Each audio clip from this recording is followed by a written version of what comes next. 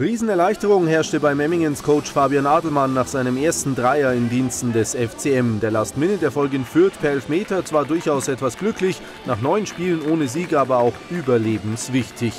Nun heißt es unbedingt nachlegen gegen einen allerdings formstarken TSV Hauptstadt in Schwarz, der aus den letzten drei Spielen sieben Punkte einfahren konnte und sich auf dem Weg zum Toto-Pokalfinale sicherlich keinen Spannungsabfall leisten will.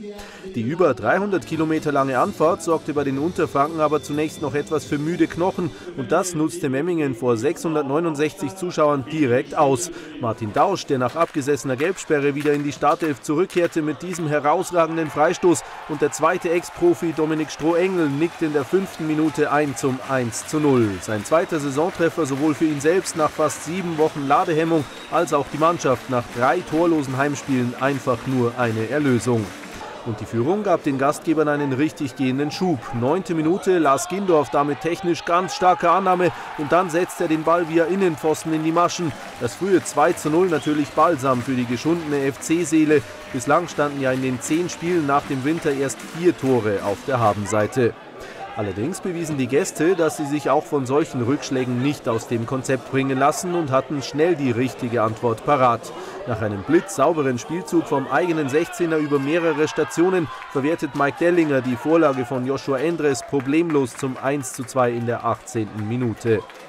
Nach dieser spektakulären Anfangsphase verflachte das Geschehen etwas. Erst kurz vor der Pause gab es nochmal je eine nennenswerte Gelegenheit. Der Schuss von Hauptstadts Ingo Feser verfehlt sein Ziel jedoch um Zentimeter. Und auch der Versuch von Dausch auf der anderen Seite, der als Antreiber unermüdlich voranging, kein Problem für TSV-Keeper Lukas Wenzel. Nach dem Seitenwechsel gab es dann wie schon in Abschnitt 1 kein langes Abtasten. Dieses Mal erwischten jedoch die Gäste den besseren Start. Jakob Gräser mit einem unnötigen Ballverlust und Patrick Hofmann überwindet den sich vergeblich streckenden Gruber ebenfalls mit Unterstützung des Innenpfostens zum 2:2 in der 50. Minute. 13. Saisontreffer bereits für den Hauptstädter Top-Torjäger.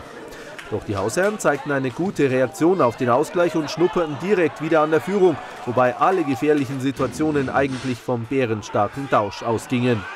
Insgesamt war es jetzt ein offener Schlagabtausch. Gruber bewahrt sein Team mit diesem Klasse-Safe gegen den Kopfball von Dellinger vor dem drohenden Rückstand. Und auch auf der Gegenseite hatte der FCM die Mega-Chance zum 3:2. Der Schuss von Pascal Mayer zischt aber haarscharf am langen Pfosten vorbei. Und so kam es, wie es eben kommt, wenn man tief im Tabellenkeller steckt. Hauptstadt nochmal mit einer Chance, Dellinger mit grenzwertigem Körpereinsatz gegen Dausch, aber das Spiel läuft weiter und der Angreifer schiebt den Ball durch die Beine von Gruber zum 3 zu 2 nach 86 Minuten und schickt Memmingen mit seinem Doppelpack auf die Verliererstraße. Zu allem Überfluss sah kurz darauf auch noch Dausch für dieses Einsteigen glatt rot. Der Verlust des Kapitäns in der Endphase der Saison mindestens genauso bitter wie die Niederlage. Alles in allem sehr bitterer Abend für uns heute. Die Mannschaft hat sich definitiv mehr verdient heute. Wir sind äh, super reingekommen ins Spiel, wir gehen 2-0 in Führung. Ja, ich glaube, so einen Start hätten wir uns alle äh, nicht erträumt. Und äh, dementsprechend waren wir auch ein bisschen erschreckt, glaube ich, davon, äh, dass wir auf einmal 2-0 vorne lagen. Und äh, ja, dann passiert uns leider ein individueller Fehler. Kassieren das 2-2. Äh, Und 3-2 geht ein klares Vorspiel voraus im 16er, was zu ahnden ist. Ähm, ahne dann nicht der Schiedsrichter und ja, dann verlieren wir heute 3-2. Ja, ich glaube, man hat es gesehen. Äh, es war ein sehr schwieriges Spiel. Wir sind nach 10 Minuten waren wir 2-0 im Rückstand. Ja, und der Coach hat äh, ja, vom Spiel angesprochen, dass ihm heute mal so ein dreckiger Sieg äh, ja, lieber wäre als so ein 3-4-0. Und ja, am Ende ist es dann auch so gewonnen. Der TSV bleibt also auch im vierten Vergleich mit den Allgäuern ungeschlagen und freut sich nun auf das Heimspiel-Highlight gegen die Bayern Amateure. Auf den FC Memmingen warten dagegen jetzt drei Schicksalsspiele und vielleicht sogar noch einige mehr, sollte es am Ende tatsächlich in die Relegation gehen.